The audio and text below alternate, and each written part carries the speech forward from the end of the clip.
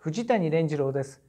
えー、ライブ版トーク第3弾西城秀樹さんの西城秀樹オンステージ1973年3月の大阪毎日ホールでのライブを録音したレコードを使っておりますが今日から内容に入ります。えー、その前にですね、えー、その具体的な話に入る前に、えー、またいつものお願いがあります。この記憶旅行という私の YouTube チャンネル初めてご覧いただいた方それから今まで何度か見てるけれどもまだチャンネル登録がしていないよチャンネル登録はしていないよという方は是非この機会に登録の方をお願いいたします。そうしていただけると私もあの非常に活動がしやすくなりますので是非ともよろしくお願いします。助けると思ってよろしくお願いします。それでは参ります。ライブ版トーク西城秀樹オンステージ。1973年3月の大阪毎日ホールでの録音です。えー、すなわち、えー、西城秀樹さんがデビューしてから恋する季節でデビューしてから1年経ったところで、えー、あと数ヶ月するとあの最初の大ヒット曲「情熱の嵐」がリリースされる前のタイミングで行われたものです。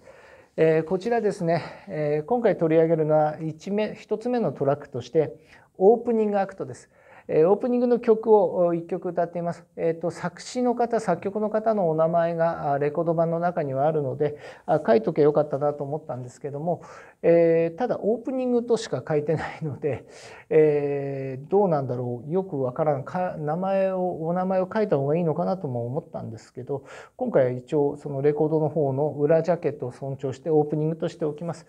えーと、とまずは、えー、まあやっぱり1970年代ですから、え司会者が、え西城秀樹オンステージみたいな感じで、え司会がいるんですね本人じゃないんですね。でそこでキャーという黄色い声援が飛び交います。ここで出てきまして英語の曲ですこれ。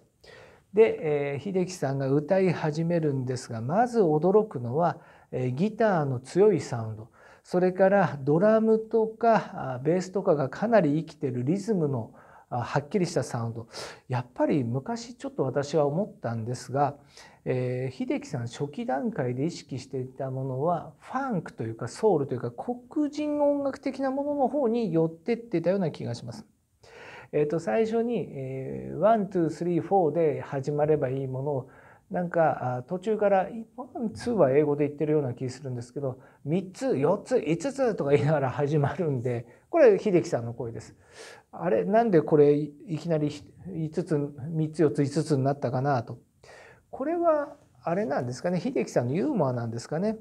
で1曲目のオープニングの曲英語曲ですが多分えー、まああのかなり早口でバババッと歌ってるんでステージ下のファンにはどうだろう届いたのかなっていうところはあるんですけどもはっきり分かるのは非常にアイドル的な声です。歌うまいですよやっぱり。えー、昔この「聖少女」というのを取り上げた時かな私がちょっと秀樹さんに昨年の5月くらいからずっとこだわって取り上げたのはあの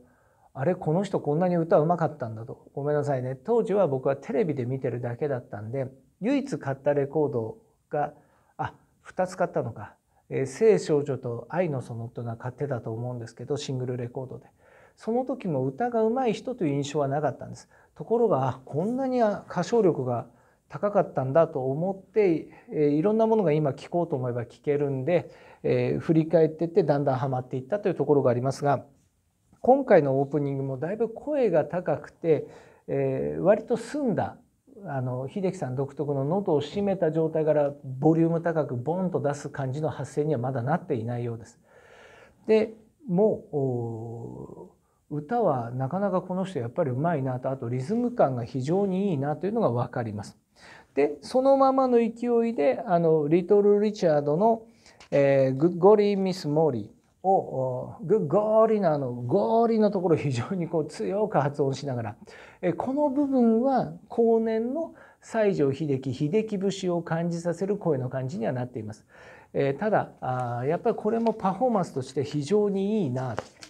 えー、という感じがします。えー、せっかくですから「グッドゴリ・ミス・モーリー」の方を、えー、曲として紹介しておくと「リトル・リチャード」が歌った曲で1958年に全米と全英両方でベスト10ヒットになっています。どっちかが確か10位で全米全米か全英どっちかが10位でどっちかが最高位が8位だったとは思いますが、えー、大変売れた曲で、えー、非常にノリが特にゴーリのゴーリのところがあのインパクトがあっていろんなあ、えー、アーティストがライブに取り入れてる曲ではありますが、えー、今回秀樹さんも大変味わい深い、えー、そのチャーミングなスタイルで歌い上げています。見事なもんだなと思いました。でその間もキャーキャーとかずっと入ってるんでえ A 面はえサイド1はずっと洋楽のカバーではありますがで最後に質問コーナーって出てくるんですけどもやっぱり彼はこっちの方向で最初スカウトされてそこで行こうとしてで1973年ですから秀樹さん17歳か18歳でしょう。これだけのアクトができる人っていうのはまあ五郎さんもすごいし秀樹さんもやっぱりすごいなと。えー、改めてこの時代の、えー、この歌手たちの歌唱力の高さというのを知るにはいいパフォーマンスだなと思いますし、えー、特に音リズム感の良さ。でそのマイクを通してお客さんをわーっと盛り上げていく。このお客さんが盛り上げるか盛り上がる感じが前に申し上げた1回目の動画でも出させていただいたように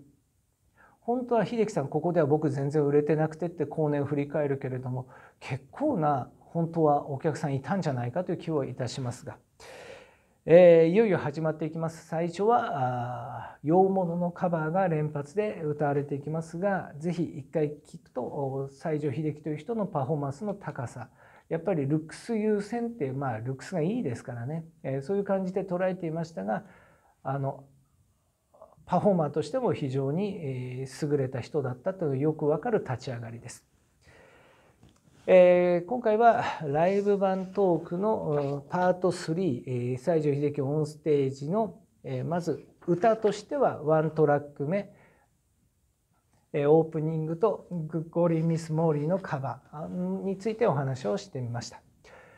これからも続いていきますので、ぜひともこの機会にえこのチャンネル登録をしていただけるとありがたいです。1週間に1回ずつくらいのペースで進んでいきますので、よろしくお願いします。それでは失礼します。